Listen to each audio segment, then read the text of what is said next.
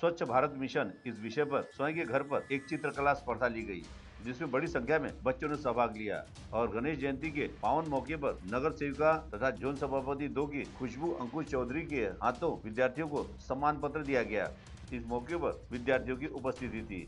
गौरतलब है, स्वच्छ भारत मिशन के उपलक्ष्य में मनपा द्वारा कोरोना के नियमों का पालन करते हुए अनेक कार्यक्रम लिए गए। सी टीवी के लिए पीयूष कुमार की रिपोर्ट।